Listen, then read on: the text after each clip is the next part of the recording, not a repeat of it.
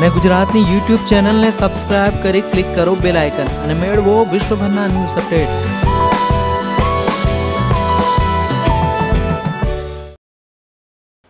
અમદાવાદ શહેરમાં ગેરકાયદેસર હથિયારના ગુનાઓ શોધી કાઢવા માટે અમદાવાદ એસઓજી દ્વારા કામગીરી કરવામાં આવી હતી, જેમાં એસઓજીની ટીમ દ્વારા અમદાવાદ શહેરમાં પેટ્રોલિંગ દરમિયાન બાતમી મળતા અમદાવાદ શહેરમાં આવેલા ગોમતીપુર વિસ્તારમાં હાથીભાઈ ચાર રસ્તા નજીકથી અહેમદ નૂર મોહમ્મદ પઠાણ નામના આરોપીને બાપુનગર નજીકથી ધરપકડ કરવામાં આવી હતી.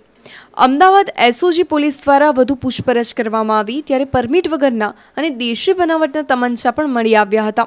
જેમાં કુલ નેવ હજાર રૂપિયાની કિંમતના બાર નંગ કારતૂસ મળી એકાણું હજાર નવસો વીસ રૂપિયાનો મુદ્દામાલ જપ્ત કરવામાં આવ્યો હતો.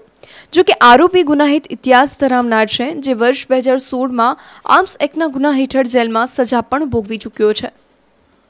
અમદાવાદ શહેર પોલીસ જ્યુરિડિક્શન વિસ્તારમાં ગેરકાયદેસર હથિયારો શોધી કાઢવા માટે પોલીસ કમિશનરશ્રી તથા સ્પેશિયલ પોલીસ કમિશનરશ્રી ક્રાઇમ બ્રાન્ચનાઓની સૂચના અને માર્ગદર્શન અનુસંધાને અમદાવાદ શહેર એસઓજી ક્રાઇમ બ્રાન્ચની અલગ અલગ ટીમો સંવેદનશીલ વિસ્તારોમાં આ દિશામાં કાર્યરત રહેતી હોય છે.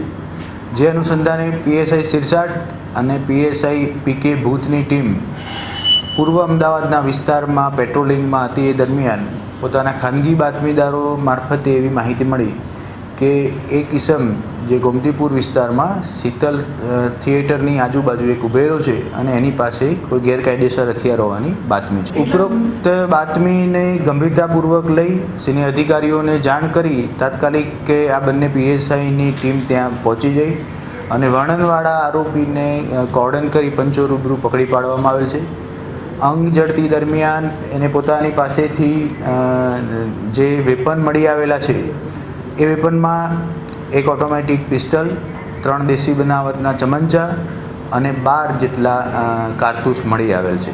એની પાસેથી જે આ મુદ્દામાલ મળી આવ્યો, એ અંગે પોતાની પાસે કોઈ પાસ પરમિટ હોવાનું પૂછતા, પોતાની પાસે કોઈ પાસ પરમિટ હોવાનું જણાવેલ નથી. જેથી ગેરકાયદેસર રીતે હથિયારો રાખવા બાબતનો ગુનો દાખલ કરી આગળની કાર્યવાહીની તપાસ ચાલુ કરી.